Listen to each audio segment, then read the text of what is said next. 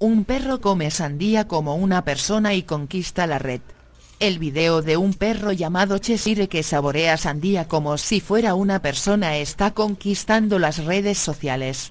En las imágenes, se ve como el animal comienza a morder lentamente la fruta desde el centro para terminar finalmente la rebanada entera, dejando solo la corteza verde.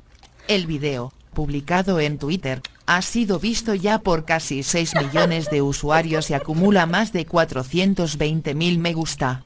¿Qué opinas de esta información? Espero tu opinión en los comentarios.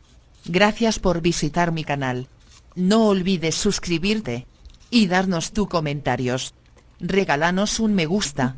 Compártelo con tus amigos en Facebook y WhatsApp.